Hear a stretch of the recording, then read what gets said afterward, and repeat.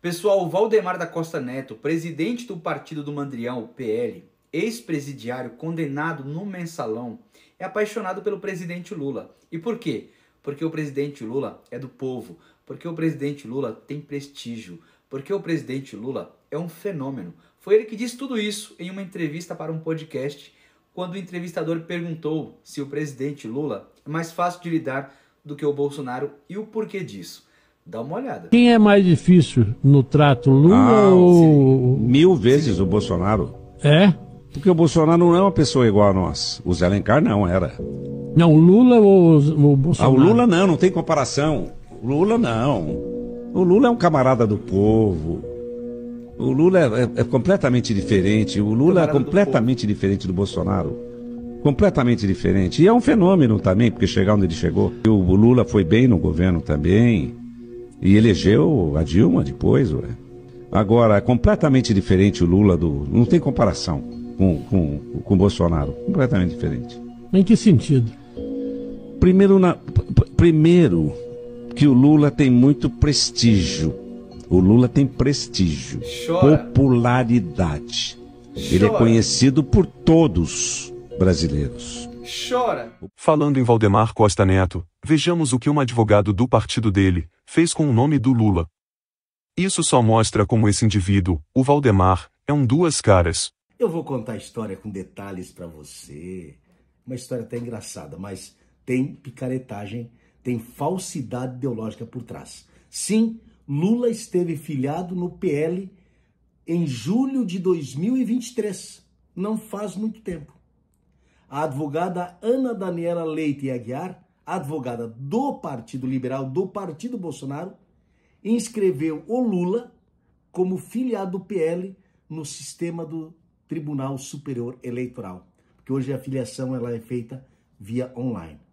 Sim, ela fez. Depois foi desfeita, evidentemente. E aí o Valdemar Costa Neto, presidente do PL, quer dizer que foi uma hacker. Não, foi hacker.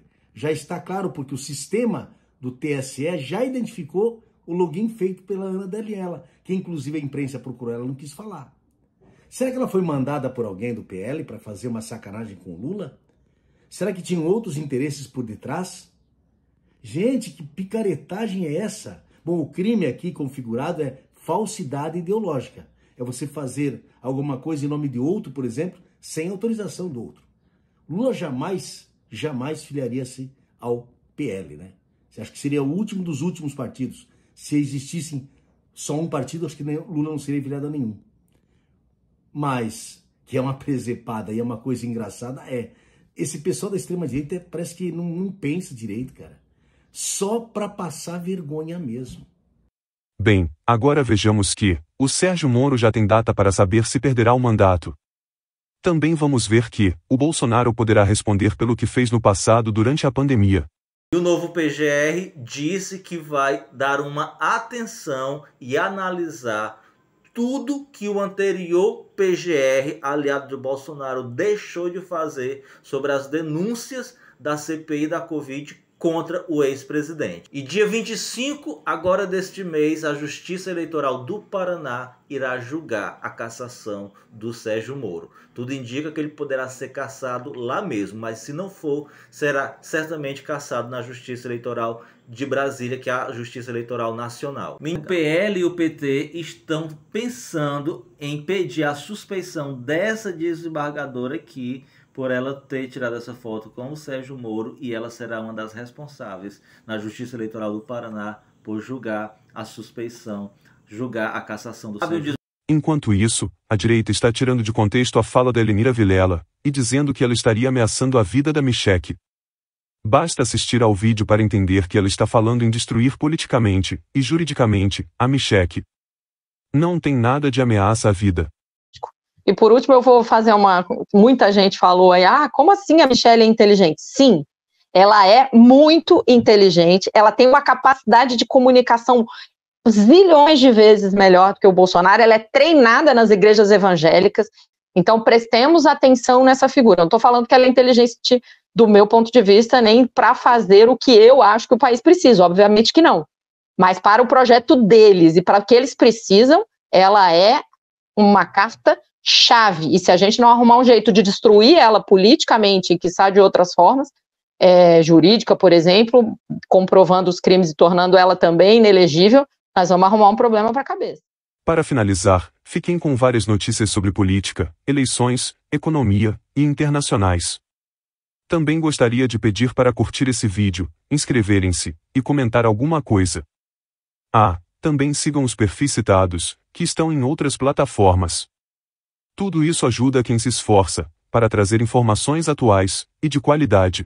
A extrema-direita que tinha que dizia que se o governo Lula ganhasse a eleição, o Brasil vir, iria virar uma Venezuela, o que está acontecendo é o oposto. A Argentina, que elegeu um governo da extrema-direita, está com a sua inflação superior à da Venezuela. Devido à proximidade das eleições para o governador do, de Minas Gerais, o governo Lula acredita que o Rodrigo Pacheco possa se reaproximar do governo e não ficar mais fazendo aquela dança em cima do muro, pra, agradando os bolsonaristas, agradando a base progressista do governo, enfim.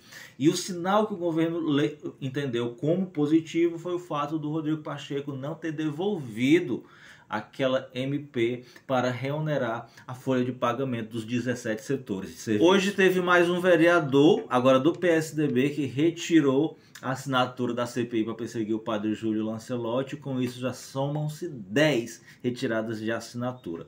Por enquanto, a CPI ainda está em processo legislativo interno. A gente ainda não tem como saber se ela vai para frente ou não, tá? Vamos aguardar o retorno do processo do, do trabalho legislativo da Câmara de Vereadores de São E o Globo atacou o, o ministro Ricardo Lewandowski, querendo comparar a ida do Lewandowski para o Ministério da Justiça com a ida do Sérgio Moro para o Ministério da Justiça do Bolsonaro. Tem uma diferença muito grande, viu, Globo? Desonesto intelectualmente falando.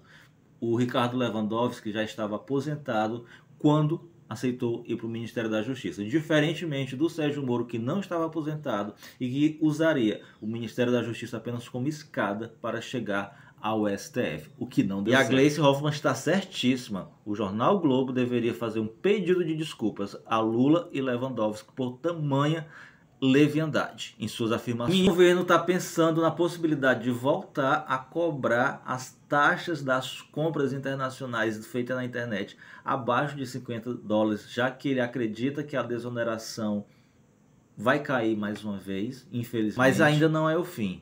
Se cair, o governo pretende levar para a justiça essa questão da desoneração, porque ela é ilegal. Bem, em relação a esta última notícia, eu já fiz uma publicação sobre esse tema, perguntando se taxar produtos eletrônicos do exterior seria para proteger a indústria nacional.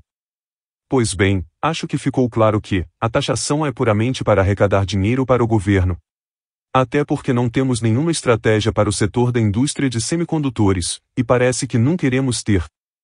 Por este motivo, eu acho que o governo deveria selecionar melhor quais produtos poderiam ser taxados, e não generalizar os impostos para qualquer tipo de produto. No final, a classe média, que já é bastante onerada, acaba sendo ainda mais onerada, o que torna nosso sistema tributário ainda mais injusto.